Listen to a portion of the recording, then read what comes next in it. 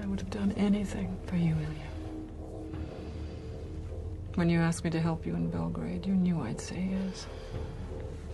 It never even occurred to me that you would betray me. Listen. Dominic thought. I know what Dominic thought. And he's paying for his sins. And if he survives, I'll find him again and finish the job. At least he believed he was protecting Masha. But you. You were my friend. Things about this you can't possibly understand. No, but I want to understand.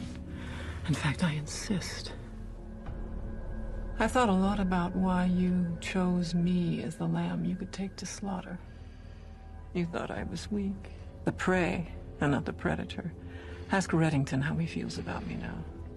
Hurting me won't get you answers. The Townsend directive is real. They're coming for you. Then tell me how to